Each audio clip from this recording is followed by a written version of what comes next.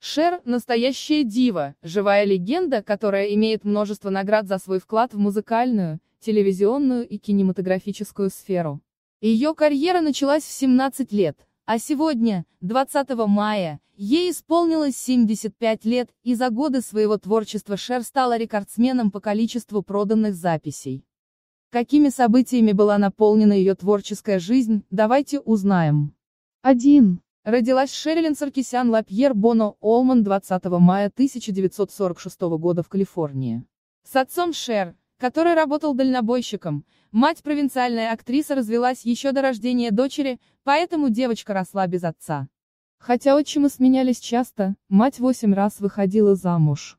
2. Как и мама, Шерилин мечтала стать актрисой и, следуя за мечтой, отправилась покорять Лос-Анджелес уже в 16 лет, бросив школу. Там она познакомилась в кафе с ассистентом одного продюсера Сони Бона, который был на 11 лет старше девушки. Тот предложил ей комнату в своем доме в обмен на услуги уборщицы и кухарки. 3. Шерилин вытянула счастливый билет, потому что Сони стал ее мужем в 1963 году и пристроил к продюсеру. Она начала петь на бэк-вокале у других исполнителей. Также он сам писал песни для супруги. В 1964 году Шер записала свою первую песню, использовав псевдоним Бонни Джо Мейсон. 4. Сони и сам отлично пел, поэтому они создали дуэт. Сони и Шер выпустили совместный альбом. Годом позже Шер записала уже сольный альбом.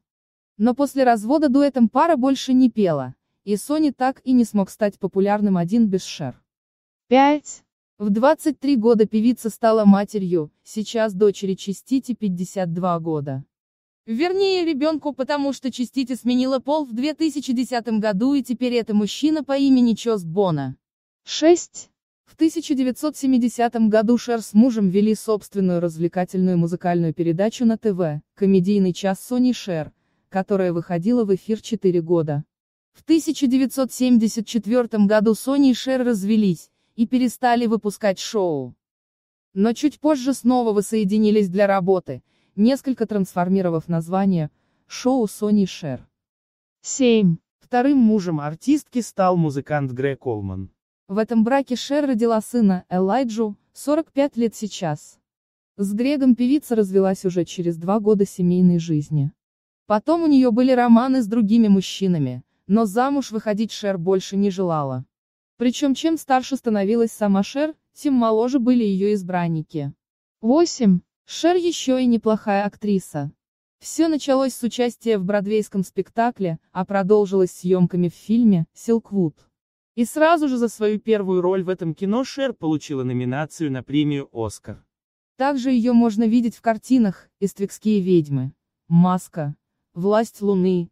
За эту роль она уже получила «Оскар», «Русалки».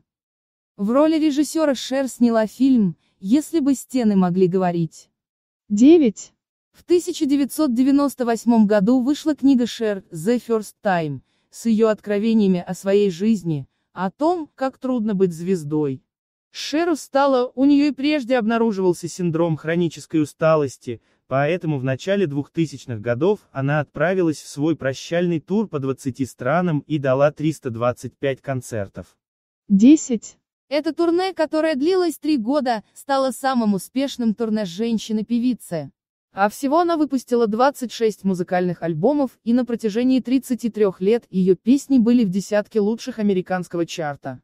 А самой популярной и продаваемой песней за всю карьеру стала композиция «Believe». С днем рождения, с 75-летием, легендарная и неповторимая Шер. П.С. 22 мая статья будет о певце Сергее Жукове, которому исполнится 45 лет.